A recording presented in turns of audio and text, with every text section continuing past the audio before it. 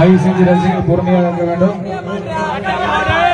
மின்சார ப்ராப்ளம் தயவுசெய்து அமைதியான ரசிகர்கள் ஒரு சில மணி நிகழ்ச்சி ஆரம்பம். ஒரு நிகழ்ச்சி